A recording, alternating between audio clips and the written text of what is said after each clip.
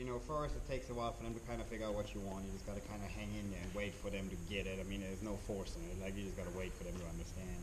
And then they'll go through a stage where they will anticipate and we'll get kind of weird, and we'll just keep changing them through it till it's just something normal, till they finally just go, just it's just something normal that they do every day. And, and I mean, they'll go and do 40 lead changes in a session when they get weird. You know, we'll just keep doing it, keep doing it, keep doing it until it's just something normal. You know.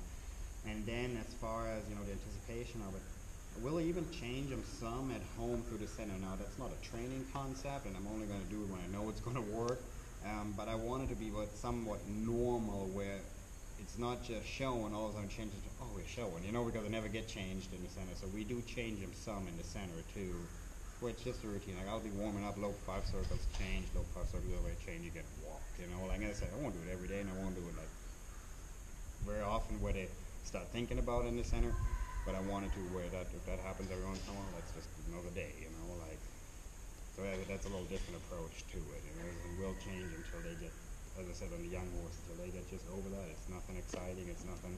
Because truthfully, the lead change is probably the most natural maneuver that they do because you'll see them out there running all the time. It shouldn't be a big deal. I mean, it's just sometimes the matter of us, the way we call for it, it gets a little weird for them, you know. But as far as the actual maneuver, pretty straightforward let's try to do left again. This is our arena.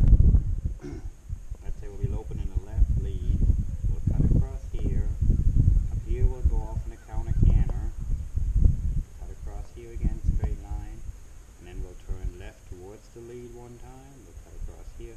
And we'll just go straight through the arena without changing for now, okay? was good, but then she dove right, and you just kind of followed her along there, and all of a sudden we were over here. Let's go ahead change and go straight afterwards, okay? Now, if I change,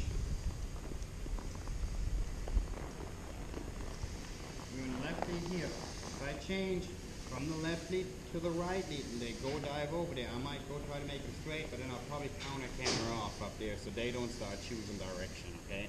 Ideally, in the lead change, they should be able to just change their leg, and top line and straightness will stay the same, and then you get to choose where we're going afterwards, okay?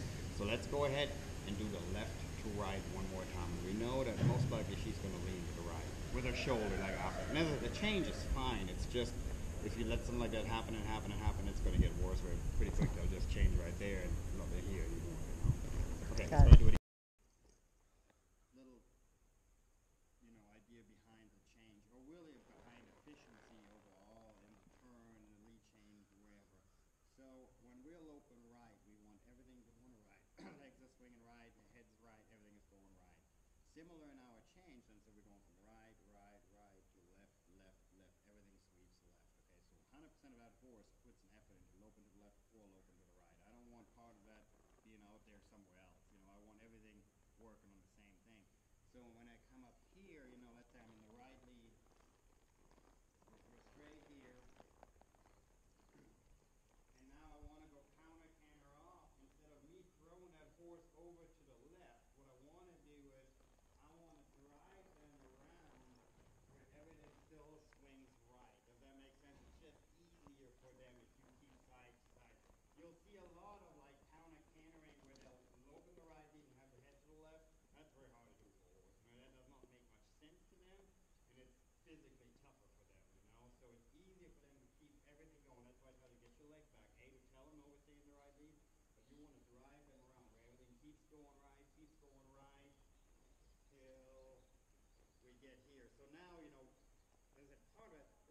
number one ever.